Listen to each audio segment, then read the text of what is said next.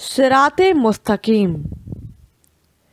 इस नावल को तहरीर किया है सरवत नज़ीर ने। बालों में तेल शेल लगाकर कंगी से सवारा तो तुम्हें अपने सामने पाकर दिल चाहा कि वो सब कुछ कह दूँ जो बरसों से दिल के नेहा खानों में पड़ा सड़ रहा है। कह देने से दिल का बोझ हल्का हो जाता है। सो आज सोचा कि तुम्हारे सामने वो सब कुछ कह दूँ, जो मैं किसी से नहीं कह सका। मेरी दास्तान कोई नई नहीं है। वही रिवायती कहानी, वही आम से वाक़यात। कुछ भी नया, अनोखा और मुनफरद नहीं है। शायद अगर मैं ये तमाम ख़यालात आज से 25 साल पहले बयान करता, तुमसे तो शायद हम दोनों मिलकर उसे खूब इन्जॉय करते कह कह लगाते, आपस में तबादला ख्याल करते। मगर अब मुझे पच्चीस साल की देर हो चुकी है। पचास साल के अधेड़ उम्र के मुँह से ऐसी बातें यूँ लगती हैं जैसे गधे की खाल पर मेहंदी से ईद मुबारक लिख दिया जाए। तुम भी कहते होगे, पचास साल की उम्र में ही सटिया गया है। पर क्या करूँ? चलो छोड़ो, मेरी दिमागी हालत को, और सुनने के लिए तैयार हो जाओ। नाम तो तुम मेरा जानते ही हो, मगर दोबारा बताने में क्या हर्ज है? मुस्तकीम अहमद नाम है मेरा। अम्मा जी, हमेशा कहा करती थी, बेटा मुस्तकीम अहमद, हमेशा सिरात मुस्तकीम पर चलना, सीधे रास्ते पर। अच्छा तो फिर यूँ हुआ कि मेरे दो रास्ते बन गए। एक वो रास्ता जिस पर मैं दुनिया के लोगों के सामने गामजन रहा और दूसरा वो रास्ता जो मेरे दिल से शुरू होकर किसी ना किसी सिनफ नाजुक के घर पर ख़त्म होता था। चलो, आज मैं तुम्हें बताता हूँ कि मुझे सिनफ नाजुक से कितनी दिलचस्पी, कितना लगाव है। सीमी बदन गुंचा दहन, सरो कद गजाली आँखें, बल खाती लहराती चोटी। सुंदर सी मैदा रंगत, कोयल से भी दिल नशी आवाज़। जिसम ऐसा जैसे लचकती डाल, उम्र ऐसी जैसे कली खिलने को हो बेताब। दसवीं जमात में फसाना आज़ाद पढ़ा था तो महबूबा का ऐसा ही नक्शा वहाँ से आखुश करके बनाया था। वरना पाँचवीं जमात तक तो मुझे इश्क का बुखार 104 डिग्री का भी हो चुका था। मिस तबस्सुम बट साहिबा से, वो गोरी चिट्टी माइल बफरबा छोटे से कद की ऐसी उस्तानी थी जिन्हें देखकर मैं गुम हो जाया करता था। अरे, इसमें ताजुब और हंसने की क्या बात है? सच है यार, ये बिल्कुल सच। मिस तबस्सुम को खट्टी चीज़ें खाने का बड़ा ही शौक था। खट्टी इमली, खट्टी कैरियाँ, खट्टा अचार, खट्टी गोलियाँ। इतना खट्टा खाने के बाद उनके पास से खट्टी खट्टी बू आने लगती थी। मगर मेरे लिए वो बू किसी मिस्री से कम न थी। मैं कॉपियाँ पकड़ाने के बहाने उनके करीब जाकर लंबे लंबे सांस लिया करता था। क्यों मुस्तकीम? नाक बंद है तुम्हारी।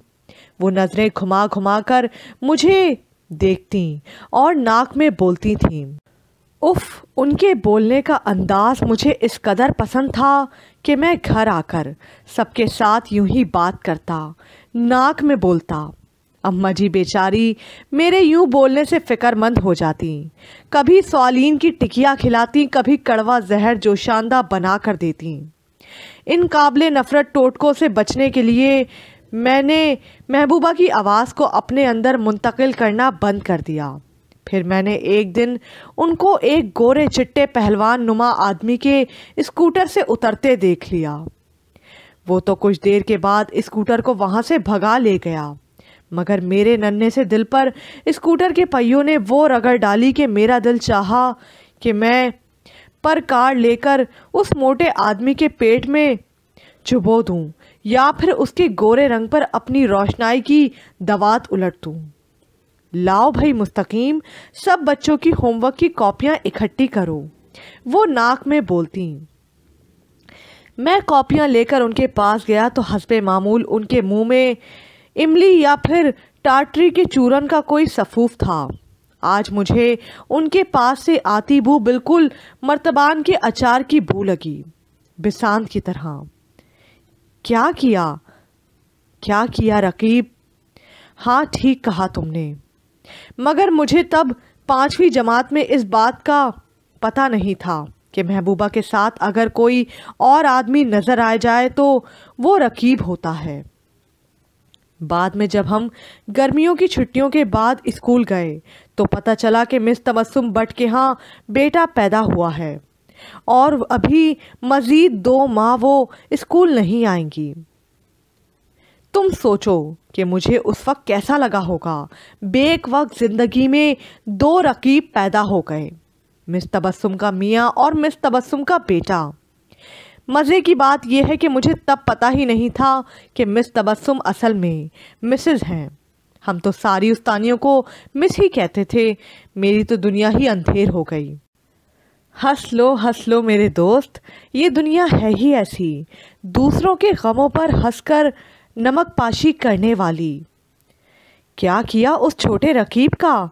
नहीं यार, उस छोटे रकीब से इंतकाम लेने का ख्याल मुझे इसलिए नहीं आया कि मुझे छोटे बच्चे बहुत पसंद थे। इसलिए तो मैं अपनी छोटी बहन को हर वक्त अपने कंधे पर उठाए फिरता था। फिर मैंने एक दिन ये भी सोचा कि काश मिस तबस्सुम बट के मियाँ का उसके स्कूटर का एक्सीडेंट हो जाए तो मैं मिस तबस्सुम से शादी कर लूँगा और उनके बेटे को बिल्कुल बाप का प्यार दूँगा। उनका बेटा बहुत ही प्यारा और सुर्खो सफ़ेद गुल गोथना सा था। मैंने कब देखा था उसको? अरे भाई, जब वो स्कूल आई थी दो माह के बाद तो अपने बेटे को भी लेकर आई थी।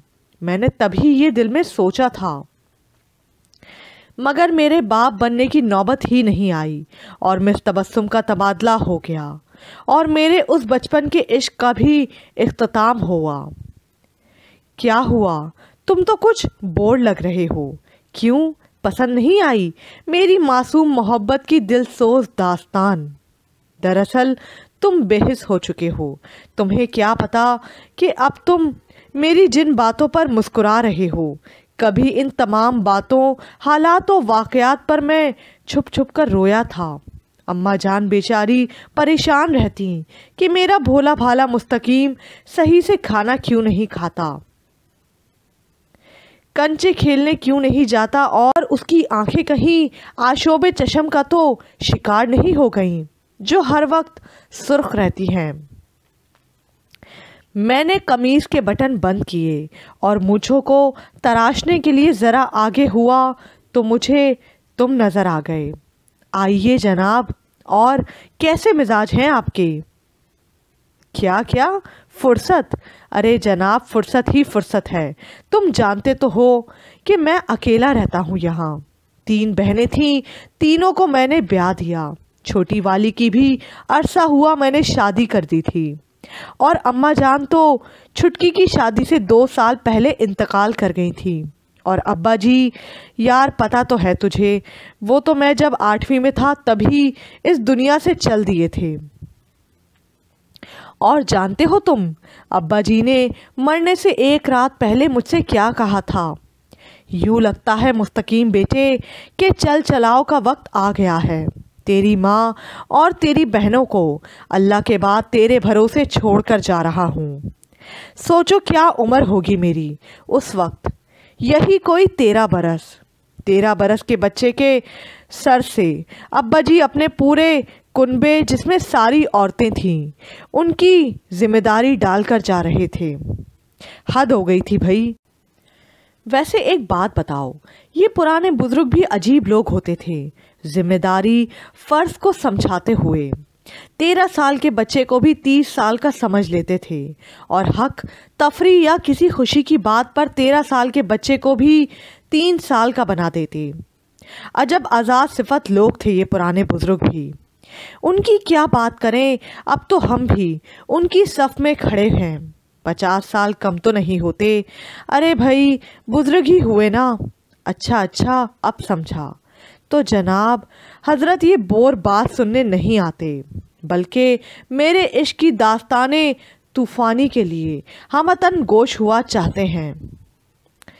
अच्छा तो भाई, दूसरा इश्क मैंने पहले इश्क के पूरे पाँच साल के बाद किया। इतना तवील वक्फ़ा, अरे भाई, पहले इश्क से संभलने के लिए भी तो वक्त चाहिए होता है। और फिर बकौल फैज़ अहमद। और भी दुख है ज़माने में मोहब्बत के सिवा। और फिर अब्बा जी की वफ़ात को अरसा भी कितना हुआ था कि मैं इश्क करने बैठ जाता। हाँ तो जनाब, ये इश्क मुझे नगीना बाजी से हुआ। मिस, अरे नहीं भाई, ये मेरी कोई उस्तानी साहिबा नहीं थी। और ये इश्क तो वैसे भी मुझे मैट्रिक के इम्तहानों के बाद होने वाली छुट्टियों में हुआ था। जब रावी चैन ही चैन लिखता था। करने को कुछ होता नहीं था, बस मैं था, अम्मा भी की झड़कियाँ थीं। घर के कामों का अंबार था, मेरी किताबें रिसाले थे और ये इश्क था, जो धीमी धीमी आँच पे पक रहा था। नगीना जी, अम्मी की बहन, यानी मेरी खाला की नन थी, जो गुजरात के करीब गाँव चिकबाई से बिग, चिकबाई बिग से आई थी। उनकी आँखों में पैदाइशी कोई नुक्स था। ऐनक लगाती तो दीदे मोटे मोटे लगने लगते। उतार देती तो और भयानक लगती। उम्र में मेरे से यही कोई पाँच छः साल बड़ी थी। पसंद करने की क्या वजह थी? यार, सब्र तो कर, बताता हूँ। सब कुछ बताता हूँ तुझे। हाँ तो मैं कह रहा था कि उम्र में यही कोई पाँच छः साल बड़ी थी। उन्हीं दिनों जब वो हमारे घर अपने दिन की मयाद के बाद उतर गया। मगर जो इश्क का बुखार चढ़ा था, वो आँखों के इलाज के लिए आई थी। मुझे मयादी बुखार ने आ दबोचा। मयादी बुखार नहीं जानते, तुम भी बहुत बड़े घामड़ हो, टाइफाइड को कहते हैं। उस मयाद, उस बुखार की मयाद होती है ग्यारह दिन या बाईस दिन। बाईस दिन तोल पकड़ जाए तो समझो मरीज़ हो गया प्यारा अल्लाह को। हाँ तो हुआ कुछ यूँ कि मुझे टाइफाइड हो गया। अम्मा बेचारी के तो हाथ पाँव फूल गए। ये पहला मौका था कि अब्बा जी के बगैर अम्मा के सर पर इस तरह की कोई आफ्ताद आ पड़ी थी। और आफ्ताद भी ये कि उनके इकलौते बेटे की जान के लाले पड़े थे। बेचारी कभी एक डॉक्टर के पास लेकर जाती और कभी दूसरे के पास। उन दिनों नगीना बाजी की वजह से अम्मा को बहुत ढारस बन गई थी। वो हर जगह अम्मा जी के साथ होती, ऊँची, लंबी, मज़बूत कद काट की जट्टी नुमा औरत या शायद फिर लड़की थी। मुझ बुखार से फपकते हुए लड़के को वो यूँ उठा लेती जैसे कोई क्रेन आसानी से बोझ उठा लेती है। चल वे मुस्तकीम वहाँ डाल मेरी गर्दन में और खड़ा हो जा। बाहर टांगा खड़ा है। उनके बोलने का अंदाज बड़ा ही बेतकल्लुफाना था। फिर मुझ बुखार में धुत की बाँ, आई मीन बाजू। खुद ही अपनी गर्दन के गिर्द हाइल की और मुझे खड़ा करके टांगे में बिठा लिया। चल वे मुस्तकीम, ये दलिया खा ले जल्दी से। देख, नखरे नहीं करना, तेरे भले के लिए है। फिर वो मेरे बेड पे, मेरे बेहद करीब बैठकर फीके सीठे दलिए का प्याला आगे करती। मेरे इनकार में हिलाती गर्दन को अपने मज़बूत हाथ के शिकंजे में कसकर दूसरे हाथ से चमचा मेरे मुँह में ठोंस देती। उनकी ऐसी ही बेबाकी, बेतकल्लुफ़ी और कुर्बत ने मेरे दिल में इश्क का उबाल पैदा कर दिया और वो जो अपनी आँखों का इलाज कराने आई थी, मेरी नज़रों को ख़राब कर गईं। मुझे ना तो उनके बाजी होने का एहसास हुआ, ना उनके आँखों के बैंगे होने का। और ना ही अपनी और उनकी रिश्तेदारी का। मयादी बुखार तो ग्यारह दिन उतरने का नाम ही नहीं ले रहा था। इजहार उनसे? बस यार, इजहार नहीं कर सका। इस मामले में शायद बुजदिल था या फिर खुशकिस्मत कि उनसे अपने इश्क का इजहार नहीं कर सका। अच्छा तो फिर मेरे सेहत याब होने के बाद अम्मा को उन बेचारी के इलाज का भी ख्याल आया। अब नौयत बदल गई थी। अब वो मरीज़ और मैं तीमारदार था। मैंने भी सोचा कि अब मैं नगीना बाजी के गिन गिन के बदले लूँगा। चलो नगीना बाजी हाथ पकड़ो मेरा और चलो चलकर रिक्शे में बैठो। मैंने अपनी मंझी वजूद पर रोबदार आवाज़ सजाकर बोला तो और वैसे भी उन दिनों मेरी आवाज़ बदलकर फटे हुए ढोल से मुशायबा हो चुकी थी। चेहरे पर बेशुमार मुहासों की फ़सल सी उगाई थी। और जेर नाक वही शर्मिंदा शर्मिंदा सी मूछें। अरे भाई, वही अवाइल जवानी की बहदी थी। ना, मैं कोई अन्निया जो तेरा हाथ पकड़कर रिक्शे में बैठूँगी। नगीना बाजी बदलिहाजी से बोली, मैं हूक सा बना उन्हें देखता रहा। मेरी बीमारी के दौरान पैदा होने वाली बेतकल्लुफ़ी नापैद हो गई थी। और अब उसकी जगह बेमुरवती बदलिहाजी और रूखे पन्ने ले ली थी। मैं तो उनके किरदार के उस दूसरे रुख को वही महबूबाना दिल नवाजी समझकर दरगुजर करता रहा। बाद में पता चला कि वो है ही ऐसी।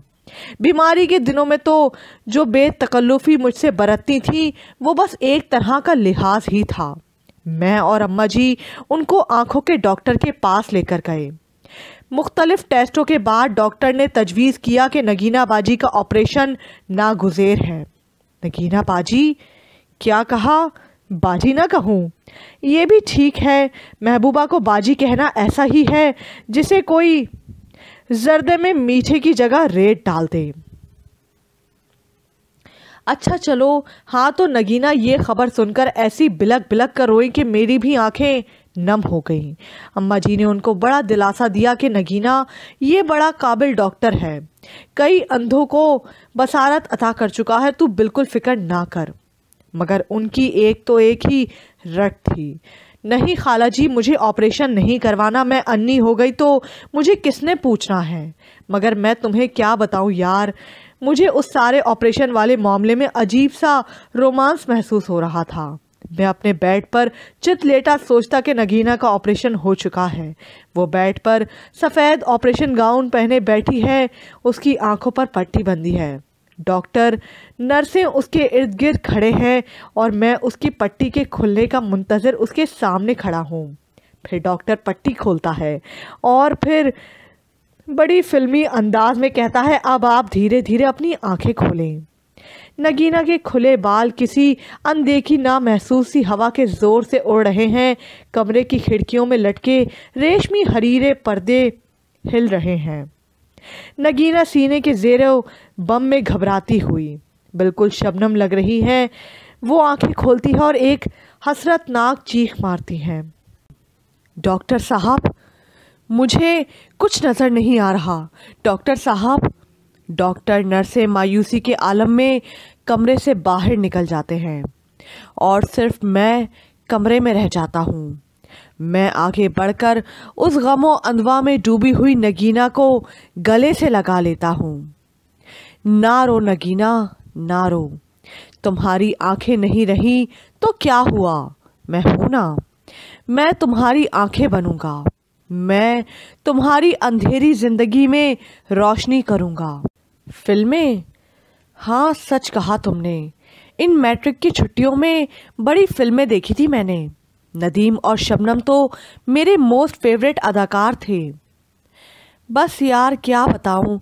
शबनम जी से तो मैं इस कदर मुतासर था कि उनका ऑटोग्राफ लेने दोबारा शाहनूर स्टूडियो भी गया। मगर ऑटोग्राफ तो दूर की बात, मैं तो उनकी एक झलक भी नहीं देख पाया। वो था ना मेरा दोस्त अकरम। अक्को अक्को जिसे कहते थे, वही मुझे शाहनूर स्टूडियो लेकर गया था। हाँ नगीना। हाँ तो नगीना ने ऑपरेशन के नाम पर इतना वावेला मचाया कि मेरे सारे ख्वाब चकनाचूर कर दिए। ऐसी डरपोक लड़की निकली कि वो मोटी अच्छे नुमा एनक लगाकर अपने चाचे के हमरा वापस गुजरात चक बाईस बग में चली गई। मुलाकात जाने से पहले हाँ जी, हुई थी। अपने चाचे के साथ टांगे में चढ़ने से पहले बोली, वे काका, अपना ख्याल रखा कर एक को एक पुत्र है, तू अपनी माँ का खा पी के जान बनाएगा तो ही माँ बहनों के काम करेगा। सुबह सवेरे उठकर सरदाई पी के दंड बैठके लगाल। हमारे पिंड में तेरे जैसे मुंडे तो हमारे पिंड में तेरे जैसे मुंडे तो दस एकड़ों में हल चला लेते हैं। पूरा घड़ा लस्सी का पी जाते हैं। तू क्या बुढ़ियों औरतों की तरह घर में घुसकर किताबें चाटता रहता है? नगीना के इर्शादात आलिया वो तेजाब साबित हुए, जिससे मेरे इश्क का चेहरा झुलस कर बुरी तरह मसक हो गया। ऐसा मसक जिसकी फ़िल्मों की तरह की प्लास्टिक सर्जरी भी नहीं हो सकती थी। फिर अगले ही बरस उनकी शादी की खबर आ गई। शादी उसी चाचे के पुत्र के साथ हुई थी, जिसके साथ वो गाँव सुधारी थी। दरोग बर्दने रादी सुना है कि वो मौसूफ कबड्डी के मायानास खिलाड़ी थे। छह फिट से निकलता हुआ कद तांबे जैसी रंगत, डेल डोल किसी भैंसे से शाबा था और वो दस एकड़ नहीं, बल्कि पंद्रह एकड़ ज़मीन पर हल चलाने की शानदार काबिलियत रखते थे। तुमने भी महसूस की है? हाँ भाई, पता है, ये बालों में सफ़ेदी। अब तो मूछे भी सफ़ेद हो गई हैं। दाढ़ी इस डर से नहीं रखता कि वो भी पिछहत्तर फ़ीसद सफ़ेद ही होंगी। अभी तो बगैर दाढ़ी के पचास का ही लगता हूँ। दाढ़ी रख ली और वो भी सफ़ेद हुई तो मैं तो बिल्कुल ही बाबा लगूँगा। पचास से एकदम पिछहत्तर का ही लगने लगूँगा। हाँ यार, इसी खौफ से दाढ़ी नहीं रखता। और वैसे भी अभी सर के बालों को डाई करने का मसला है। फिर दाढ़ी को रंगने के लिए सौ सौ जतन करने पड़ेंगे। ये तो वही बात है, एक बीवी संभाल ना पाए और उस पर सौकन ले आए। हाँ यार, सच कहा तुमने, ये तो बड़ी ही भौंडी मिसाल दी है मैंने, एक बीवी। हक हाँ। अच्छा तो फिर तीसरा इश्क। चलो, आज ये किस्सा भी सुन ही लो। अरे नहीं बाबा, ये पिछले दो वालों की तरह एबनॉर्मल इश्क नहीं था, बल्कि सही उम्र में सही लड़की के साथ हुआ था। वक्फा वही पाँच साल का था। मैट्रिक के बाद मैंने तालीम को खैर बात कह दिया था और अब्बा जी मरहूम का करियाने का स्टोर संभाल लिया था। उम्र मेरी चौबीस साल थी। बस यार, अब तुमसे क्या छुपाना? छोटी क्लासों में अम्मा और अब्बा जी के लाड प्यार ने पढ़ाई की तरफ़ से ऐसी बेफिक्री अता की कि मैट्रिक करते करते मेरी उम्र 19 बरस की हो गई थी। खैर, मैट्रिक करने के बाद अम्मा जी ने फैसला कर लिया कि अब स्टोर पर ही जाया करूँ। क्योंकि हमारा मुलाजिम जो बरसों से उस स्टोर को चला रहा था, अब उसमें इतना दमखम ना था कि मज़ीद अकेला स्टोर की देखभाल करता। उस करियाने के मरियल स्टोर को अब मुझ जैसे जवान खून की ज़रूरत थी। वैसे उसे स्टोर कहना भी नहायत नामुनासिब सी बात है। डिब्बी बाज़ार में वो एक मदकूक सी सलीन ज़दा कोठरी थी, जिसमें होजरी, प्लास्टिक के बर्तन औरतों से मुतालिक जुमला लवाजमात, सरफ विम, नकली जेवरात, जेर जामे, मेकअप का सामान, लैस फितने, नाले परांदे थाईलैंड के कपड़े, तारे मोती, गोटा किनारी, और इस तरह की बेशुमार चीज़ें ठसा ठस अटी पड़ी थीं। गोया, मेरी करियाने या शायद पंसारी की दुकान, वो शहद या मीठा था, जिस पर औरतें मक्खियों की तरह भिनभिनाती थीं।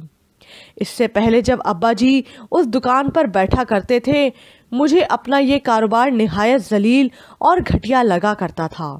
मैं कभी कभार अब्बा जी के साथ दुकान पर जाता तो कुछ ही देर में उकता कर घर भाग आता। मुझे नफरत थी जब अब्बा जी औरतों को जी बाजी, जी बेटी हाँ जी बाजी, जी आपा जी और लो मेरी बहन कहकर उनकी मतलूबा अशिया निकाल कर दिखाते और वो मुँह बनाकर कहती, हाजी साहब, इसका साइज़ छोटा है, फला नंबर दिखाओ। तौबा तौबा, मैं तो शर्म से पानी पानी हो जाता। मगर अब्बा जी की शरीफ नफसी, उनकी झुकी हुई नज़रें, माथे पर मेहराब का निशान और शरई दाढ़ी, ऐसा इश्तिहार थी कि बिना पब्लिसिटी किए हमारी दुकान पर सबसे ज़्यादा रश होता। ईद त्यौहार पर तो अब्बा जी फजर के वक्त ही घर आते। हाजी साहब की दुकान एक ऐसा स्टोर था जहाँ पर कोई भी औरत, बाजी, आपा, बहन, बेटी बिला, झिझक, अपनी मतलूबा चीज़ बेधड़क होकर मांग सकती थी। अरे बाबा, आता हूँ असल कहानी की तरफ़। उस दुकान से ही तो वो कहानी निकलती है। फजल हुसैन हमारा जद्दी पुश्ती मुलाजिम अब ज़यीफ़ हो चुका था। सो अम्मा जी के बेहद इसरार पर मैंने दुकान पर जाना शुरू कर दिया। दुकान पर भेजने से पहले अम्मा जी ने मुझे एक नसीहत की। बेटा मुस्तकीम, ये सिर्फ़ दुकान नहीं है ये तेरे बाप की बरसों की मेहनत से बनाया हुआ इज़्ज़त आबरू का वो शीश महल है, जो तेरी ज़रा सी लापरवाही या बेहतियाती से चकनाचूर हो सकता है। दुकान पर आने वाली हर औरत को अपनी माँ बहन समझना, जैसा तेरा बाप समझता था। दिलो दिमाग जैसे अम्मा जी की बातों के टोके में आकर बोटी बोटी हो गए। कई बरस तो मैं पागल की तरह वाकई उस सलीम जदा कोठरी को जिसको सब हाजी साहब की दुकान कहते थे, बल्कि साइन बोर्ड भी उसी नाम का लगा हुआ था। शीश महल ही समझता रहा। मैं भी निरा गधा ही था। जब कुछ अरसे के घायल ज़दा दिलो दिमाग ने सोचना शुरू किया तो अंदाज़ा हुआ कि अब्बा जी ने तो हर औरत को माँ और बहन समझना ही था, क्योंकि यही दो रिश्ते उनकी ज़िंदगी में नापैद थे। मैं किस हिसाब में हर औरत को माँ बहन समझूं, जबकि मैं तो इन दोनों रिश्तों में खासा खुद कफील था। अम्मा जी भी बा फजल खुदा हयात थीं और तीन अदद बहनें भी घर पर मौजूद थीं। और वैसे भी इस अरसे में मेरी शहरत भी ऐसी हुई कि अब्बा जी का सही जान नशीन साबित हो रहा था। बाज़ार में अक्सर पुराने बुढ़े बाबे यही कहते हाजी का बेटा बिल्कुल हाजी पर गया है। इस शोहरत का ये फ़ायदा हुआ कि अब मुझसे मुतालिक, कोई उल्टी सीधी बात बाज़ार के लोगों को मुझसे मुतनफ़र करने में कामयाब नहीं हो सकती थी। ओफो, क्या हो गया है? तुम तो बहुत ही बेसब्रे हो रहे हो। हाँ तो फिर यूँ हुआ कि एक दिन वो मेरी दुकान पर आई। वो कौन? अरे बाबा, बताता हूँ बताता हूँ। वो काले बुरके में लिपटी हुई काजल जदा काली आँखें। तुझ पर उठी हैं वो खोई हुई साहिर आँखें। तुझको मालूम है क्यों उम्र गवा दी हमने। हक आ, वो साहिर आँखें। आज तुझे बता दूँ कि क्यों उम्र गवा दी मैंने। सुनिए, एक तोला सितारे हरे रंग के और आधा छटाक मोती, छोटे लपा। और किनारी। ना जाने क्या था उसकी आँखों और उसकी आवाज़ में। मेरा जी चाहा कि आसमान के सारे सितारे और समंदरों के तमाम मोती उसके दामन यानी काले बुरके में भर दूँ। मैंने एक बेखुदी के आलम में तमाम अशिया उसके लिए तोल कर खाकी लिफाफे में डालकर उसे थमा दी। और यूँ ही आहिस्तगी से, नरमी से। उसकी उंगलियाँ मेरी उंगलियों से मस हो गईं। उफ़, क्या बताऊँ? उस मस की तपिश, हरारत, बिजली, आग। एक 440 वॉट का करंट था, जो मेरे पाँव के अंगूठे से लेकर दिमाग तक को झंझोड़ गया। एक अलाव था जिसका भाबड़ मेरे वजूद को। खुश्क लकड़ी की मानन जला रहा था। क्या बताऊँ? सच, आज भी तुम्हें ये सब बताते हुए मेरे रोंगटे खड़े हो रहे हैं। मुबालगा कर रहा हूँ। नहीं यार, तुम नहीं समझोगे। तुम उस ज़माने के नौजवान की महरूमी को जान ही नहीं सकते। सहरा में चलने वाले इंसान जिसके होंठ प्यास के मारे पपड़ी ज़दा हो गए हों, उसके लिए पानी का एक कतरा ही आब हयात बन जाता है। हम जैसे नौजवान जिन्होंने सिनफ मुखालिफ को सिर्फ़ ख्वाब में छुआ हो, उसके लिए वो एक लम्स उस पानी के कतरे की मानंद ही हो जाता है। उस रोज़ दुकान से आने के बाद मैंने आईने के सामने खड़े होकर भरपूर अंदाज में अपना तनकीदी जायज़ा लिया। धत, इस कदर मायूसी हुई कि क्या बताऊँ? मैं इस बेढंगेपन से दुकान पर जाता रहा। आम सा आयरिश लीलन का शलवार सूट। तेल लगे बाल, सीधी खिंची हुई मांग, जिसम से पसीने और लाइफ बॉय साबुन की लिपटे आ रही थीं। कंधे पर अब्बा जी के वक्तों का लाल रंग का डिब्बों वाला रुमाल। उफ, इस कदर थका हुआ दुकानदाराना हुलिया। उस मलफूफ हसीना की अंदरूनी छप बाकपन बाजो वाह अतरबीज आवाज़ मुझे अतरबीज आवाज़ मुझ तक बाखूबी पहुँच चुके थे, और मैं क्या था? उसके सामने सिर्फ़ एक घटिया दर्जे का दुकानदार। कुछ देर की बेहद मायूसी तारी हुई, मगर मैंने उसे मुतासर करने का मौसम इरादा कर लिया था। दिल में एक लगन सी थी कि वो कल भी दुकान पर आएगी। सो सुबह उठकर मैंने अम्मा जी से कहकर अपना कॉटन का सफ़ेद कलफ लगा कुर्ता शलवार निकलवाया। कटर कटर करते शलवार पर कलोन का स्प्रे किया। तेल लगे बालों की तिरछी मांग निकाली बाएँ हाथ की चौथी उंगली में अकीक के नग वाली अंगूठी और कलाई में सुनहरी डायल वाली घड़ी पहनकर। मैं दुकान पर जाने लगा तो इतनी तैयारी की बाबत अम्मा जी ने मुझसे दरियाफ्त भी किया। बेटा मुस्तकीम, खैर तो है, आज इतनी आन बान अम्मा जी, भाई तो आज यूँ तैयार हुआ है जैसे बर दिखावे के लिए जा रहा हो। बाजी आपदा ने मुझ पर भपती कसी। बाजी आपदा की बात से मेरे होठों पर शर्मीली मुस्कुराहट रेंग गई। मगर मेरी उस शर्मीली मुस्कुराहट का किला कमा अम्मा की इस नोकीली बात ने कर दिया। आए हाय बहनों के होते हुए वो क्यों पहले अपने बारे में सोचने लगा? मेरा पुत्र तो पहले अपनी तमाम जिम्मेदारियों को पूरा करेगा, फिर मैं उसके सर पर सहरा सजाऊँगी। अब के शर्मीली सी मुस्कुराहट बाजी आपदा के होठों पर थी। वो तो कमरे में चली गई और मैं दिल पर एक नामालूम सा बोझ लिए दुकान पर रवाना हो गया। वो आई? नहीं यार, सारा दिन भांत भांत की औरतों को भुगताता रहा। मगर वो काले बुरके वाली, काली काजल जदा आँखों वाली हसीना दुकान पर ना आई। मेरा विजदान भी निकम्मा ही साबित हुआ। दिल पर मायूसी और झिझलाहट के गहरे बादल छाने लगे। करीब था कि ये बादल बारिश बनकर, अफसुर्दगी की बौछार की मानंद मेरी आँखों से रवा हो जाते कि फजल हुसैन से भी मेरी पसमर्दगी छुपी ना रह सकी और उसने मुझे घर जाने का मशवरा दे दिया। दुकान को फजल हुसैन के सपुर्द करके मैं मुकर्रा वक्त से पहले ही घर लौट आया। सहन में आपदाबाजी जाहिदाबाजी तख्त पोश पर कपड़ों का ढेर रखे कतर भवन, कतर ब्योनत में मसरूफ़ थीं और उनके पास एक धान फांसी लड़की गले में दुबट्टा डाले बैठी थी। बाजी, ये देखें, ये मैंने कमीज़ बनाई है। गले पर सितारे और मोती का काम मैंने खुद अपने हाथों से किया है। वो आवाज़ थी कि जादू। मेरी सारी थकन अफसरदगी और पसमर्दगी में उड़न छू हो गई। उस आवाज़ को तो मैं हज़ारों आवाज़ों में पहचान सकता था। मैं बेखुदी के आलम में आगे बढ़ा। उसने मुझे देखकर जल्दी से गले में पड़ा हुआ दुबट्टा सही किया और सर पर ओढ़ लिया। उसकी इस अदा से मेरा दिल मज़ीद घायल हो गया था। अरे मुस्तकीम, तुम आज जल्दी आ गए। अम्मा तो अंदर हैं।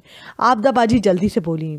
मैंने होकों की तरह इधर उधर देखा, जैसे अंदर जाने का रास्ता खो बैठा हूँ। अंदर, अम्मा जी अंदर हैं आपदाबाजी झिझला कर बोली।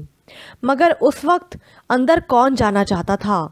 मैं तो बाहर ही खड़ा रहकर उस माँ जबीन की सूरत का फिर से दीदार करना चाहता था, जिसको उसने दुबट्टे से आधा ढांप लिया था। मैं तिश्नाए दीदार बना लड़खड़ाते कदमों के साथ अम्मा के कमरे में दाखिल हुआ। और धड़ाम से बेड पर लेट गया। अम्मा जी, जो नमाज़ पढ़ रही थी, सलाम फेरा और जल्दी से मेरे करीब आई। या अल्लाह खैर, क्या हुआ मेरे पुत्र को? उन्होंने घबराकर मेरे माथे पर हाथ रखा, मेरे बालों को सहलाया, आज जल्दी कैसे आ गया? वो बेहद घबरा सी गई थी। कुछ नहीं अम्मा जी, बस यूँ ही दिल ज़रा घबरा रहा था। मैंने थकी थकी आवाज़ में जवाब दिया उनके खौफ में मज़ीद इजाफा हो गया। हाय हाय, दुश्मन की नज़र तो नहीं लग गई। मैं तो आज पहले ही डर गई थी। आज जो तू इतना शहजादा बनकर दुकान पर जा रहा था, मेरा दिल तो उसी वक्त हॉल खा गया था, कहीं मेरे बच्चे को किसी की नज़र ना लग जाए। नहीं, अम्मा जी, ऐसा कुछ नहीं है। वो बाज़ार से समोसे और चाट खा ली थी। उससे तबीयत ज़रा ख़राब हो गई है। मुझे बरवक बहाना सूझ गया। कितनी बार तुझे कहा है, बाज़ार से, ये उल्टी सीधी चीज़ें लेकर ना खाया कर। बाज़ार कौन सा कोसो दूर है? फजल हुसैन से कह दिया कर, तेरा खाना ले जाया करे, दोपहर का। अम्मा का खौफ कम हुआ तो दरश्ती से बोली, और जाय नमाज़ लपेट कर बाहर जाने लगी। अम्मा जी, ये बाहर कौन आया है? मैंने हत्ताउल वसा अपना लहजा सरसरी रखने की कोशिश की। बाहर हाँ वो नायला है, आपदा की नई सहेली। ये हमारे घर से तीन घर छोड़कर उसका घर है। नए किराएदार हैं भट्टी साहब के। आपदा को तो तुझे पता है, सहेलियाँ बनाने का कितना शौक है उसे। आपदा बाजी की सहेली। आपदा बाजी मुझसे तीन साल बड़ी थी और जाहिदा बाजी एक साल। तो ये भी मगर लगती तो वो छोटी सी है। मैंने हैरानी से पूछ ही लिया। हाँ तो छोटी ही है, पर आपदा को इस बात से क्या गर्ज, उसे तो सहेली चाहिए होती है। उसके घुटने तक आती हो, चाहे उसके घुटने तक आती हो। अम्मा जी रूकेपन से कहती हुई बाहर निकल गई और मेरे इर्द गिर्द जैसे फूल ही फूल खिल गए। रूठी हुई बाहर सारी नाराज़ी बुलाकर खुद मेरे आँगन में रंग बिखेरने आई थी। शायरी। सच कहा तुमने, उस दिन तो मैंने उसे देख लिया था। तो लफ्ज़ खुद बखुद शायरी के कालिब के ढल ढल कर मेरे कल्ब पर उतर रहे थे। वरना तुम्हें पता है कि मैंने जब उसे सिर्फ़ काले बुरके में देखा था, तब से मेरी शायराना हिस्स फड़क चुकी थी। मेरा दिल क्या उठा था बेटा मुस्तकीम? ढूंढा है जिसको बाग की हर एक छाक पर। वो फूल मेरे दिल के गुलिस्तान में है खिला। मगर मुझको क्या मालूम था कि उस फूल के खिलने की खबर सबसे पहले मेरी महबूबा के बजाय मेरी अम्मा जान को हो जाएगी।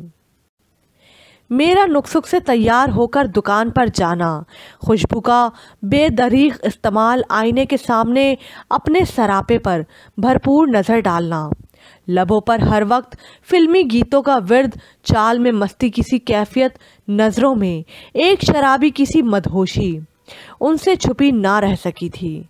एक रात खाने के बाद अम्मा जी आपदाबाजी के जहेज की बेडशीट काट रही थीं कि अचानक ही बोली, आज आखिरी फूल भी मुकम्मल हो जाएगा इस बेडशीट का। ना जाने मेरी बेटी का नसीबा कब खुलेगा। पूरे माहौल पर गहरी यासियत तारी हुई। सत्ताईस साल आबदाबाजी और छब्बीस साल जाहिदाबाजी। अम्मा जी के सीने पर धरी वो भारी सलीन थीं, जो सिरकने का नाम ही नहीं ले रही थीं। आपदाबाजी के बाएँ पैर में बचपन में होने वाले पोलियो ने अपने असरात छोड़ दिए थे। वो हल्का सा पैर को दबाकर चलती थीं। उसी बिना पर उनकी शादी में देर हो रही थी और फिर जब तक आपदाबाजी की शादी ना हो जाती, इससे पहले जाहिदाबाजी की शादी करना भी मुमकिन ना था। सो इसी शशोपंज में उन दोनों की उम्रें निकलती जा रही थीं। सबसे छोटी बहन यानी छुटकी, वो तो मुझसे पाँच साल छोटी थी। खीर के प्याले में से चमचा लेते हुए मेरा मुँह कड़वा हो गया। बस उन तीनों के फ़र्ज़ से सुबकदोश हो जाऊँ। फिर खैर से मैं अपने बेटे के सर पर सहरा सजाऊँगी। अम्मा जी हसरत आमेज दर्दनाकी से बोली, इश्क और मश्क छुपाए नहीं छुपते, सो अम्मा जी शायद मेरे इश्क की मुश्क को भाप गई थीं। इसलिए उन्होंने बड़े जज्बाती अंदाज में मेरे जज्बात पर कारी ज़रब लगाई थी। नहीं यार, मैं यूँ ही अंधेरे में टामक टोइयाँ नहीं मार रहा था। नायला तक भी मेरे आतिश इश्क की हरारत पहुँच चुकी थी। अपने ख़त्म होते सितारे और मोतियों की तलाश में वो गाहे बगाहे दुकान पर आने लगी। वो मेरे लिए ही आती थी। मुझे इस तरह पता चला कि फजल हुसैन उससे पूछता रहता, बेटा, क्या चाहिए? मुझे बताओ। मगर वो दम साधे मेरे फारिग होने का इंतज़ार करती और फिर अपनी मतलूबा अशिया मुझसे ही लेती। बस अभी यहाँ तक ही हमारी मासूम मोहब्बत पहुँची थी कि घर पर आपदाबाजी की शादी का हंगामा खड़ा हो गया। अम्मा जी के खालाजाद भाई साहिवाल से अपनी भैंसों का सौदा करने आए थे। उनको हमारी आपदाबाजी अपने प्राइमरी फेल बेटे के लिए ऐसी भाग गई कि चट मंगनी और पट ब्याह का गलगला मच गया। उन्हें आपदाबाजी के पैर के नुक्स पर मलाल से ज़्यादा उनके इंटर पास होने का फ़ख्र था। वो अपने बेटे के लिए पढ़ी लिखी बीवी की तमन्ना करते थे, जो हमारे घर आकर पूरी हो गई। और अम्मा जी ने जैसे ही आपदाबाजी की बेडशीट पर आखिरी फूल काट कर मुकम्मल किया उससे अगले हफ़्ते वो ब्याह कर साहिवाल चली गई। आपदाबाजी की शादी पर अम्मा जी का जमा जुत्ता सब लग गया, बल्कि मुझे भी अपने दोस्तों से कर्ज लेना पड़ा। मगर मैं खुश था कि चलो अब जाहिदाबाजी के बाद मेरी बारी आया चाहती है। अब मैंने नायला से रुक्काबाजी भी शुरू कर दी थी। कंपनी बाग में एक दो बार मुलाकात भी हो गई। उसके हालात भी मुझ जैसे ही थे। दो भाइयों और तीन बहनों से छोटी थी। बड़े दो भाई शादीशुदा थे और एक बहन भी। उसकी शादी भी तभी हो सकती थी जब उसकी दो बड़ी बहनों की शादी हो जाती। अब ज़ाहिर है, इस सूरत हाल में मेरा उसके लिए रिश्ते का सवाल करना उसके भाइयों को मशकूक कर सकता था। और वो भी दो बड़ी बहनों के होते हुए, उसकी शादी के बारे में कैसे कर सकते थे? और मेरी अम्मा जी वो जाहिदाबाजी और शाजिया से पहले मेरी शादी करने को तैयार न थी। अब हम दोनों ही अच्छे वक्त के इंतज़ार में अपनी मोहब्बत, जज्बात और बेकरारी की शिद्दत को मसरूफियत के बहाने से कम करने की कोशिश में लगे रहे। जब कभी ये जज्बा ज़्यादा सताते तो कंपनी बाग में एक दूसरे को देखकर नज़रों को ठंडा कर लेते या फिर कोई छोटा मोटा रुक्का हमारे जज्बों का तर्जुमान बन जाता। एक बार जी खड़ा करके मैंने अम्मा जी से ढके छुपे लफ्ज़ों में अपनी शादी के बारे में कहा। कैसी बात कर रहा है मुस्तकीम? मैंने तो हमेशा तेरे लिए सरात मुस्तकीम पर चलने की दुआ की है। फिर तू? लो भला, अपनी शादी का तस्करा करना गोया सरात मुस्तकीम से भटकने के मुतरदफ था। अपने जज्बात की हिजान खैजी को कम करने के लिए अगर मैं कोई और रास्ता इख्तियार कर लेता तो गोया वो सही होता। मगर शादी, उसका ज़िक्र भी शजर ममनुआ था मेरे लिए। मगर अम्मा जी, इसमें हर्ज ही क्या है? आप क्यों फ़िक्र करती हैं? जैसे अल्लाह ने आपदाबाजी के लिए वसीला बनाया था। उसी तरह जाहिदाबाजी और छुटकी के सारे काम भी खुश असलूबी से हो जाएँगे। मैं कोई अपनी जिम्मेदारियों से मुँह तो नहीं मोड़ रहा, मैं कोफ से बोला। मैं सब जानती हूँ, ये किसकी पढ़ाई हुई पट्टी है तुझे। सुन ले मुस्तकीम, ऐसा नहीं हो सकता। पहले तेरी बहनों की शादी होगी, फिर तेरी। तेरा तो बात करने का अंदाज ही बदल गया है। शादी हो गई तो तू माँ की कब सुनेगा? अम्मा जी ने हतमी अंदाज से कहा। और मेरे शादी के मौजू पर गर्द पड़ती गई। आज तुम पर से गर्द साफ़ की तो तुम नज़र आ गए। कल बड़े ज़ोर की आंधी आई थी। हर चीज़ मट्टी से अट गई थी। माँ बहनों के होते हुए ये घर शीशे की तरह चमकता था। मगर अब इस घर में औरत का वजूद नापैद है। इसलिए उसकी हालत उस खंडर की मानंद हो गई, जहाँ पर हर वक्त धूल उड़ती है और रात को उल्लू बोलते हैं। चलो, तुम मुझे ही उल्लू समझ लो। हाँ भाई, वो इश्क की दास्तान तो अधूरी ही रह गई। मैंने भी ठान ली, अम्मा जी को सही वाला मुस्तकीम बनकर दिखाऊँगा। ज़िंदगी दोस्तों का कर्ज उतारने और दुकान की नज़र कर दी। नायला ने भी दुकान पर आना छोड़ दिया। किसी ने उसकी मंजरी कर दी थी। भाइयों को पता चल गया था, उस माहो साल में जाहिदाबाजी की शादी भी हो गई। आपदाबाजी के ससुराली अज़ीज़ थे। लड़का पुलिस में था। जाहिदाबाजी आपदाबाजी का चिल्ला काटने के सिलसिले में साहिवाल गई थी। वहीं पर लड़के की वालदा को जाहिदा पसंद आ गई। सो वो दस्ते सवाल दराज करने हमारे घर आ पहुँची और फिर जाहिदाबाजी मुझे कर्ज के बोझ में दबाकर चकवाल ब्याह कर चली गई। अब सिर्फ़ चुटकी यानी शाजिया रह गई थी। अम्मा जी बीमार रहने लगी थी, एक रोज़ अचानक बोली, बेटा, मेरी तबीयत का कोई भरोसा नहीं। सोचती हूँ कि शाजिया से पहले तुम्हारी शादी कर दूँ। मगर उस रोज़ मुझे ना जाने क्या जिद चढ़ गई थी। मैं सख्ती से बोला नहीं, अम्मा जी, अभी नहीं। मुझ पर बहुत कर्ज है और वैसे भी। आपने ही कहा था कि तीनों बहनों की शादी से पहले मैं अपनी शादी का ख्याल दिल से निकाल दूँ। सो अभी नहीं। अम्मा जी बेचारी खामोश हो गई। मुझे दुख तो हुआ, मगर मैं क्या करता? मुझे जब से पता चला था कि नायला लोग भट्टी साहब का मकान खाली करके कहीं और शिफ्ट हो गए हैं, मेरे तो दिल की दुनिया ही वीरान हो गई थी। मेरे दिल में अम्मा जी के ख़िलाफ़ गुस्सा और कदूरत भर गई थी। क्या था? क्या था कि अगर वो मेरा रिश्ता नायला के घर ले जाती, मगर तब उनको सिर्फ़ अपनी बेटियों की फ़िक्र थी। बेटे के जज्बात और एहसास की उनको रत्ती भर परवाह न थी। फिर अम्मा जी की तबीयत बिगड़ती चली गई। एक रोज़ मैं उनके पाँव दबा रहा था कि वो नकाहत से बोली, मुस्तकीम, तूने मेरी बड़ी खदमत की है। इसकी जजा तुझे ऊपर वाला देगा। मेरे बाद अपनी बहनों का ख्याल रखना। मेरे बाद अपनी बहनों का ख्याल रखना।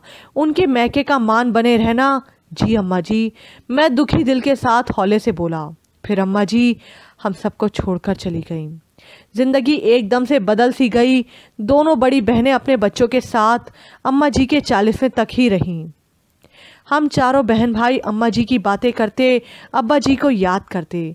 अब तो उनकी यादों के सहारे ही ज़िंदगी गुजारना थी। दो बाजियाँ तो चालीसवें के बाद अपने अपने घर सुधार गईं और मैं और शाजिया इस घर में रह गए। जाते जाते आपदाबाजी ने मुझसे यही कहा, मुस्तकीम, तुमको अच्छा सा रिश्ता देखकर शाजिया की शादी का सोचो।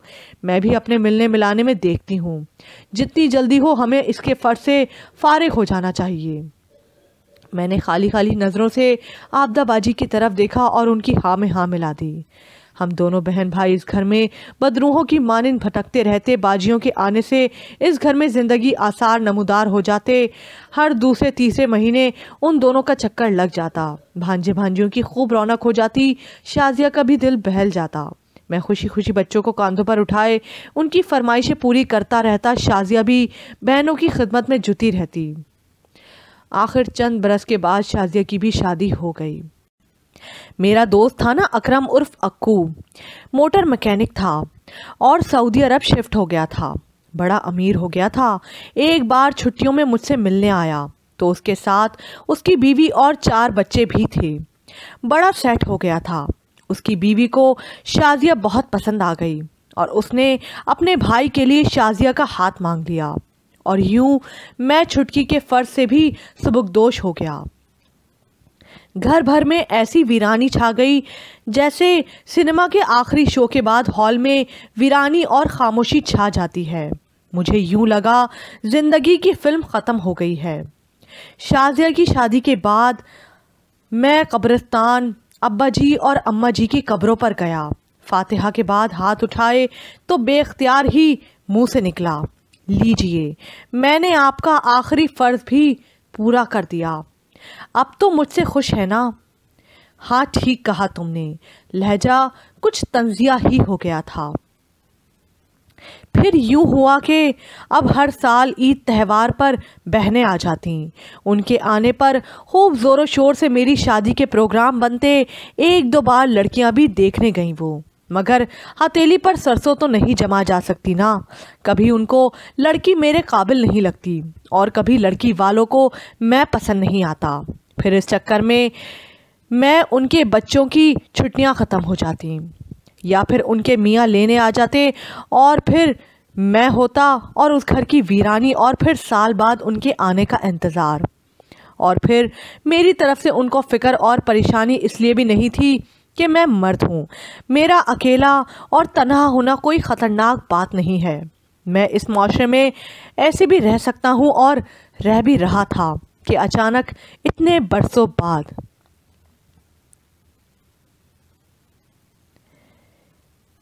एंकर का धागा होगा आपके पास? उफ, वो आवाज़। बरसों बाद भी उसकी खनक यूँ ही कायम व दायम थी। काली चादर में लिपटा हुआ वो सोगवार सा हुसन। गुजरते बरसों ने उस हुसन की मासूमियत को नहीं छीना था। सिर्फ़ उसमें शऊर और आगाही की रमक को बढ़ा दिया था। बिल्कुल ऐसे ही जैसे सच्चे काम वाला सूट ट्रंक में पड़े रहने के बावजूद भी अपनी आबोताब नहीं खोता। उसकी कदरों मंजिलत कम नहीं होती। अरे आप? दुकान पर उस वक्त सिर्फ़ मैं ही था। उसकी पलकें झुक गईं। काजल लगाना शायद उसने छोड़ दिया था। मुझे यूँ लगा जैसे उसकी आँखों में पानी भरने लगा है। वो आँखें जो बार बार भर आती हों, उनमें काजल कहाँ ठहर सकता है? कैसी हैं आप? मेरा दिल भर आया था। मैं रंदी हुई आवाज़ में बोला, मैं ठीक हूँ। और आप? मैं भी ठीक हूँ। और फिर हम दोनों के बीच एक तवील वक्फा आ गया। खामोशी का कहते हैं ना, खामोशी की भी ज़बान होती है। तो मैंने उस रोज़ महसूस किया कि वाकई खामोशी की ज़बान होती है। हम दोनों ने बिना कहे जान लिया कि हम दोनों आज भी वहीं खड़े हैं, जहाँ बरसों पहले खड़े थे। मैंने उसे अपने घर आने की दावत दी, जो उसने कुछ देर के बाद तजबज़ब के आलम में कबूल कर ली। उस दिन मैंने बड़ी दिलजमी के साथ घर की सफ़ाई की। पूरे घर की गर्द को साफ़ किया। बाज़ार की सबसे मशहूर बेकरी से चाय के लिए लवाजमात लेकर आया। अपना कड़कड़ करता कलफ लगा सफ़ेद शलवार कमीज़ पहना। उम्र रफ्ता ने जिसम को कुछ माइल ब फरबा और बालों को सफ़ेद कर दिया। मगर आज मेरी बरसों पुरानी गमगुश्ता मोहब्बत मेरे घर आ रही थी। उसकी आमद के दिल फरेब रंगों ने मुझे भी जवानी और रानाई बख्शती थी, और फिर वो चार पाँच बजे के करीब ड्राइंग रूम में मौजूद थी। उसने सफ़ेद रंग की साटन की चादर ओढ़ रखी थी। सफ़ेद फूलों वाली कमीज़ और सफ़ेद शलवार कमीज़ और उसका जर्दी माइल, सफ़ेद चेहरा। हर चीज़ उसके वजूद से ही मुंसलिक थी, सफ़ेद थी। मगर मुझे यूँ लग रहा था कि मेरे घर के उस कमरे में रंग ही रंग बिखर गए हैं। मैंने सामान खुरदनोश उसके सामने रखा, मगर उसने नज़रें उठाकर भी किसी चीज़ को नहीं देखा। बस यूँ ही गोद में धरे, अपने हाथों को घूरती रही। लीजिए ना, मैं लजाहत से बोला, आपने यूँ ही ख्वामखा इतना तकल्लुफ़ कर दिया। वो आहिस्तगी से बोली, ये पेस्ट्री तो लीजिए। मैंने प्लेट उसकी तरफ़ बढ़ाई। माफ़ कीजिएगा, मैं मीठा नहीं खाती, मुझे ज़्याबतीस है। ओह मैंने दुख और रंज के आलम में प्लेट मेज़ पर रख दी। कुछ देर हम दोनों फिर से खामोश हो गए। मैं आपके लिए चाय बनाकर लाता हूँ। मैंने खामोशी को तोड़ते हुए कहा, किचन किस तरफ़ है? मुझे बताइए, मैं बना लाती हूँ। वो भी उठ खड़ी हुई। कुछ ही देर में हम दोनों किचन में खड़े चाय बना रहे थे। मुझे यूँ लगा जैसे हम दोनों बरसों से इस घर में रह रहे हैं। वो यूँ ही अहमनाक से मेरे लिए चाय बनाती है। और मैं यूँ ही मोहब्बत पाश नज़रों से उसे देखता हूँ। मेरी नज़रों की तपिश ने उसे भी आगाह कर दिया। कप मुझे पकड़ाते हुए उसके हाथ काँप रहे थे। मुझे यहाँ नहीं आना चाहिए था, मगर ना जाने क्यों मैं ख़ुद को रोक नहीं सकी। उसकी आवाज़ में बेहद मलाल सा था। मैं जानता हूँ, हम दोनों का यूँ मिलना शायद अच्छी बात ना हो, मगर जो कुछ हमारे साथ हुआ, क्या वो सही था? हम दोनों तकदीर की सितम ज़रफ़ी का शिकार हुए। आपके सामने आपके घरेलू हालात और मजबूरियाँ थीं और मेरे सामने मेरे हालात। क्या अब भी हमें ये हक नहीं कि हम अपने लिए कुछ खुशियाँ तलाश करें? नायला भी अभी तक अकेली थी। भाइयों ने जैसे तैसे करके दोनों, दो बहनों की शादी कर दी, मगर उसकी उम्र ज़्यादा हो जाने के बायस और कुछ भाभीियों को कामकाज की सहूलत ने। भाइयों को नायला की जानब से गाफिल कर दिया। अभी चंद महीने पहले ही नायला के बड़े भाई ने भट्टी साहब का मकान ख़रीद लिया था। और अब नायला की हालत ये थी कि वो सिर्फ़ एक मुलाजमा थी जिस भाई बहन को ज़रूरत होती। उसे अपने पास बुला लेता। उसकी शादी का मौजू किस्सा पारीना बन चुका था। हम दोनों ड्राइंग रूम में मौजूद थे। मुझे फ़िज़ा में खुशगवार लम्हों की छाप सुनाई दे रही थी। मैं आपदाबाजी को फ़ोन करता हूँ, जैसे ही वो आएँगी, मैं उन्हें आपके पास, मैं उन्हें आपकी अम्मी के पास भेजूँगा। आपको आपको कोई एतराज़ तो नहीं? मैंने सर झुकाए बैठी नायला से पूछा। उसके होठों पर बड़ी दिलफरेब, शर्मीली सी मुस्कुराहट थी, जिसके अंदर इकरार ही इकरार छुपा था। मैंने आज भी आपके दिए हुए सारे रुके संभाल कर रखे हैं। मैंने नायला को बताया और मैंने भी नायला धीमे से बोली, मैंने आपकी दुकान से जो सामान भी लिया, उससे बनाई हर चीज़ मेरे पास बाहिफाजत पड़ी है। सबसे पहले जो सितारे और मोती लिए थे, उनसे जो कमीज़ बनी थी, वो इतने बरसों के बावजूद मेरे बकस में महफूज है। बस, अब यादों के सहारे जीने का मौसम ख़त्म हुआ।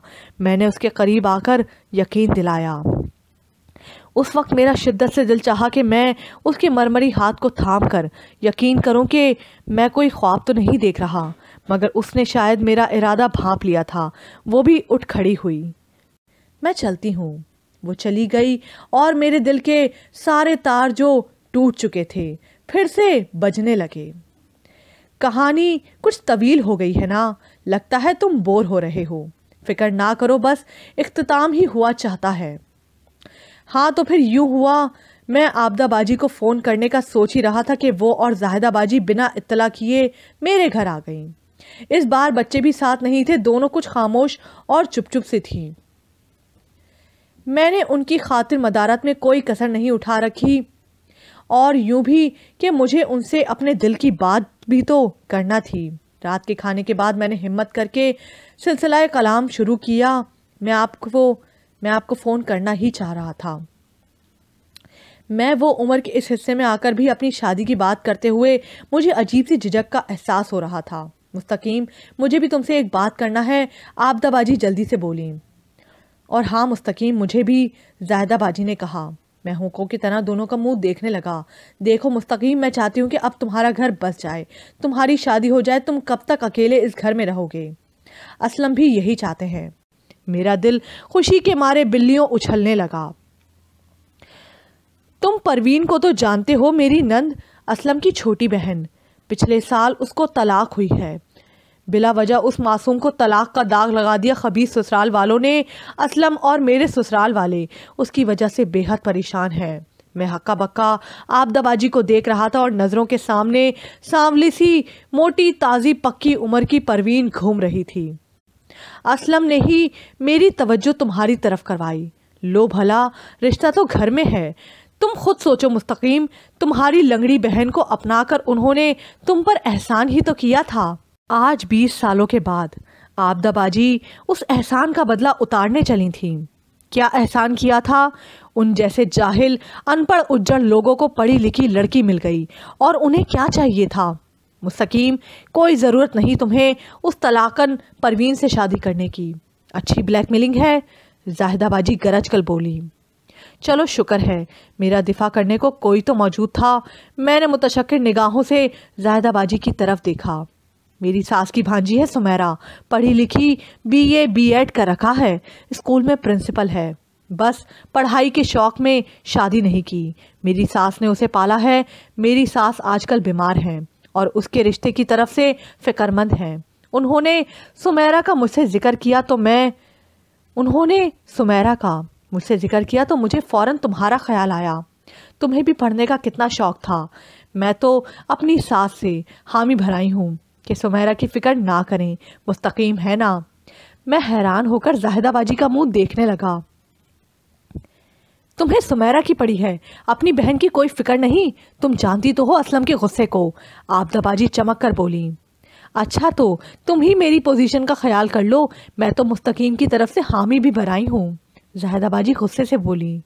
दोनों आपस में ज़ोरों शोर से बहस करने लगी और मैं यूँ उन दोनों के बीच में बैठा था जैसे दो भेड़ियों के दरमियान डरा हुआ मेमना होता है। हाँ सही कहा तुमने। मैंने दोनों को इनकार कर दिया। दोनों मुझसे खफा होकर चली गई। नहीं यार, मैं उन्हें नायला के बारे में बताकर मज़ीद आग बगोला नहीं करना चाहता था। मुझे शाजिया चुटकी का इंतज़ार था। अगले माह उसने सऊदी अरब से आना था। मैंने सोचा, वो आएगी तो उसे अपना मसला बताकर मदद तलब करूँगा। जहाँ हम दोनों ने इतना इंतज़ार किया था, वहाँ एक माह और सही। फिर आई शाजिया? हाँ आई। भेजा तुमने उसे नायला के घर? नहीं। वो क्यों? वो इसलिए कि शाजिया अपने तीन बच्चों के हमरा पाकिस्तान आई और मेरे पास ही आई। मगर इस तरह कि अब उसके सर पर शोहर का साहिबान नहीं था। एक रोड एक्सीडेंट में उसके शोहर रिजवान का इंतकाल हो गया और मैं जो अपनी दुनिया आबाद करने के लिए शाजिया का मुंतज़र था, जब उसकी दुनिया ही वीरान और बंजर हो गई तो मैं किस मुँह से अपनी शादी का ज़िक्र उससे करता? शाजिया की बेवगिनी तो हमारे घर में सोग बर्पा कर दिया। दोनों बाजियाँ अपनी छोटी बहन को दिलासा देने के लिए मौजूद थी। मेरा दिल भी बेहद रंजीदा था। शाजिया के तो आँसू ही नहीं थमते थे। हर वक्त रोती रहती, बच्चे अलग सहमे हुए थे। क्यों? रो रो कर खुद को हलकान करती है। तेरा माँ जाया जो है, तुझे किस बात की फ़िक्र है? आपदाबाजी ने उसे तसल्ली दी। क्यों मुस्तकीम? ठीक कह रही हूँ ना मैं? आपदाबाजी ने रंधी हुई आवाज़ में मुझसे पूछा। और मैंने रोते हुए दिल के साथ शाजिया के सर पर तसल्ली आमेज हाथ रख दिया और नायला, उसका क्या हुआ? एक बार आई थी दुकान पर। शाजिया के मियाँ का अफसोस किया और साथ में ये भी बताया कि वो वजीराबाद जा रही है छोटे भाई के पास। अम्मा को फालिज का अटैक हुआ है, सो भाई ने नायला को बुलवा लिया, माँ की खिदमत के लिए। लो भाई, मैं माजी के बखिए उधेड़ते उधेड़ते हाल की तरफ़ जा निकला। बस, अब हाल तो ये है कि वो दबा दबा से वो दबा दबा सा। इश्क में तबस्सुम से शुरू होकर नायला पर ख़त्म हुआ था। आज भी मेरे सीने में चिंगारी बनकर दहक रहा है। कभी कभी चिंगारी शोला बन जाती है तो दिल में धुआँ सा भर जाता है और फिर सांस लेना मुश्किल हो जाता है। और फिर जब तक अपना दर्द किसी से बांट ना लूँ, मुझे चैन नहीं आता। सारी उम्र सिरात मुस्तकीम पर चलने वाला मुस्तकीम जिसकी दुनिया, घर और दुकान थी। जिसकी दुनिया, घर और दुकान थी, कोई ख़ास दोस्त ना बना सका। और फिर मुझ जैसे सिरात मुस्तकीम पर चलने वाले कम ही इस दुनिया में पाए जाते हैं। इसलिए जब कभी दर्द बढ़ जाता है और दोस्त की कमी शिद्दत से महसूस होती है तो मैं तुम्हें अपनी दास्तान गम सुनाने लगता हूँ। तुम बोर तो नहीं हुए ना? नहीं ना? मैं जानता हूँ, क्योंकि मुस्तकीम कभी मुस्तकीम से बोर नहीं हो सकता। मैं आईने के सामने से हट गया और बाज़ार जाने के लिए गाड़ी की चाबियाँ उठा ली।